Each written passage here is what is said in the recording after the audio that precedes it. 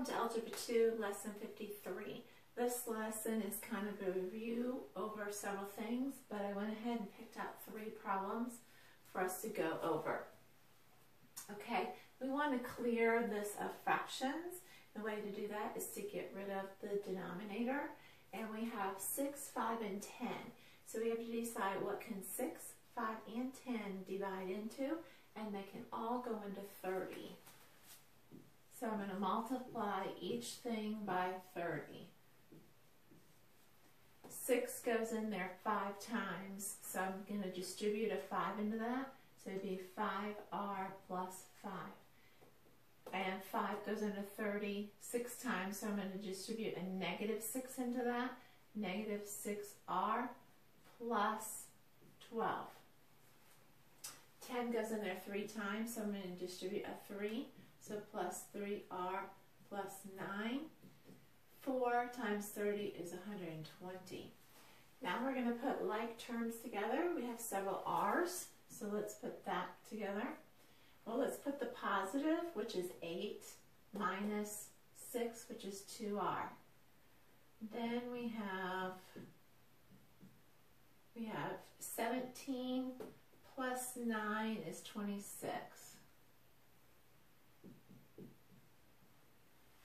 Okay, the what's bothering the R is the 2 and the 26. The 26 needs to move first, so we're going to subtract 26.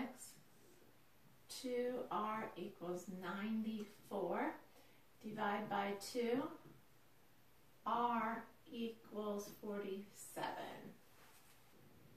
Okay, let's try number 21. Our GCF is going to be x squared, or at least common denominator, would be x squared minus 1 because that factors to x plus 1, x minus 1, and that is both of those. So if I multiply this by that, that cancels out, so I'm going to multiply x minus 1 times by x to the third plus 2. This has that, so I'm going to multiply this by that. x plus 1 x3 minus 2. This already has both of those, so it cancels out and you have a 10. This I'm going to have to, to multiply by our denominator. Okay, so what I'm going to do now is FOIL, FOIL, and distribute. When I FOIL, the first is x4 plus 2x minus x3, and that's minus 2. When I FOIL this, I have x4 minus 2x plus x3 minus 2. And now I'm going to distribute negative 2x3 plus 2x. Okay, to distribute our negative into this. So that becomes negative, positive, negative, positive. Now we can put our like terms together. Our x to the fourth, they cancel each other out. Now we have x third, x third, so it would be negative 2x3. And then our x's would be plus 4x.